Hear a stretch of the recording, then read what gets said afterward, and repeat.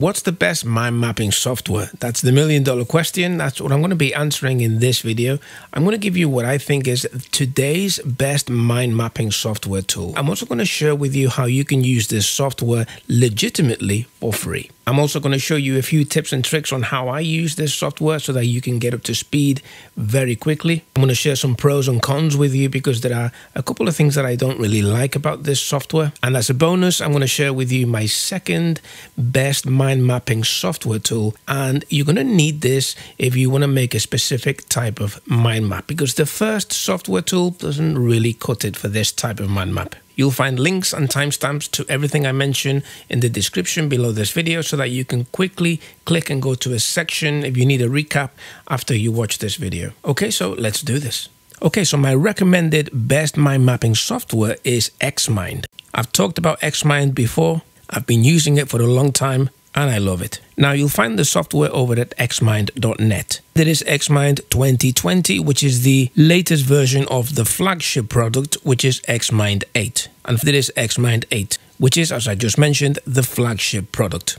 Now, this software works on both PC and Mac, and it's a mature piece of software. It's been around a long time and it's solid. Now, XMind 8 for me has everything I need in a mind mapping tool. And if you're wondering why XMind 8 and not XMind 2020, which is the latest version, then I talk about that in this video.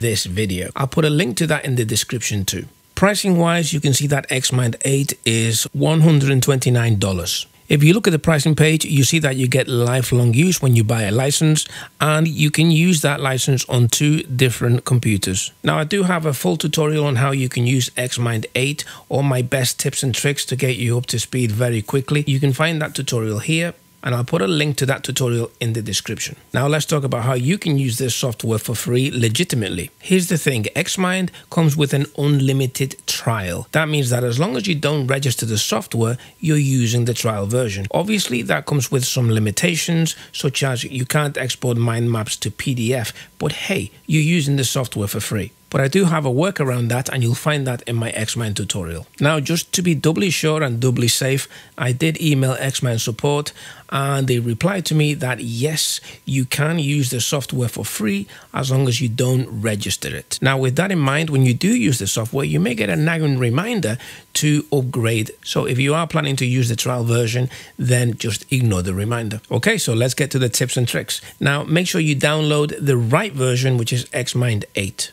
Once you have that installed on your machine, run the software, and this is what you get. Now, the first time you open the software, you'll get a wizard, if I remember correctly. So spend a little time exploring the wizard. And when you're ready to start your first mind map, you'll end up at a screen like this. So let's click on New Blank Map. You'll see this bubble in the middle, which is known as a node called the central topic. So let's call this website. Let's pretend that we're going to build a website. So all I did there was I double clicked the title in the node that highlighted the text. I just typed in website and hit enter. That sealed the text into the bubble. Now the next thing I'm going to do is a shortcut. I'm going to click the tab key on my keyboard and that's going to open up a child node.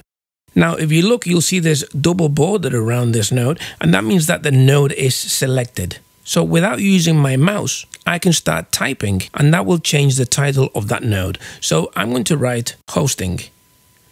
Then I'm going to hit enter and that once again is going to seal the title into the node. Now the focus is still on this node. This time I'm going to hit enter and that's going to open another child node of the main root node. So I'm going to write platform, hit enter. Once again, I'm going to hit enter again. And this time I'm going to type lead capture. I hit enter and that seals the text. Now I'm going to use my keyboard to navigate to the top node. And this time, instead of hitting enter, I'm going to hit the tab key on my keyboard. And that's going to open up a child node of the node that was in focus. So here I'm going to add a list of the things that I want from my hosting. So I'm going to enter managed hosting. I hit enter, that seals the text. Now, if I hit my tab key again, that's going to expand that node. I don't want to do that, so I'm going to hit the backspace and I'm going to hit enter. That's going to create a new child node of the hosting node. So here I'm going to put 24-7 support.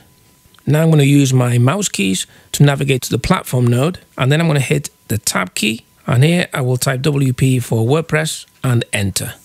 Once again, I use my mouse keys to go down to the lead capture node. Then I hit the tab key and here I'm going to add autoresponder and hit enter to seal the deal. So this is how you can very quickly brainstorm any idea, any thought without using your mouse, just using shortcuts.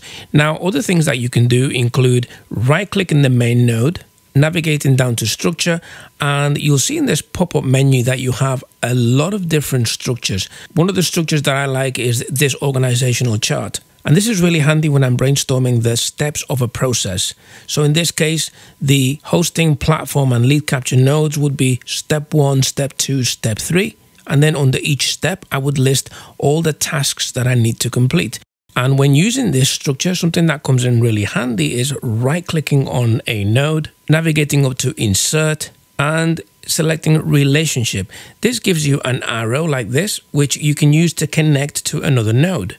Let me change the shape of that arrow so it's not traversing any boxes. And I use this to create a very quick visual that lets me know that this step affects that step. As you can see, XMind is a great tool for brainstorming. And the good news is you don't need to spend weeks on a steep learning curve. You only need to know a good few tricks to get the most out of this software. So make sure you jump into my XMind 8 training series because that will teach you all the tricks that you need to know, saving you a lot of time. Now let's talk about pros and cons. So the main two reasons that I think XMind is the best mind mapping software, at least for me or for anybody that uses it like me, mostly for brainstorming, is one, it's a desktop application. So I don't have to log into anything. I can just open up the program and start working. If I'm traveling on a train and I don't have Wi-Fi, that's not a problem. And the second reason is that very generously XMind have this unlimited trial, which enables me to use the software for free. And the unlimited trial actually covers all my needs needs. Now, the downside of using the unlimited trial is that you can't print a PDF. But as I mentioned before, there's a workaround that in the XMind 8 training series. And the other downside of this software is that it doesn't look sexy.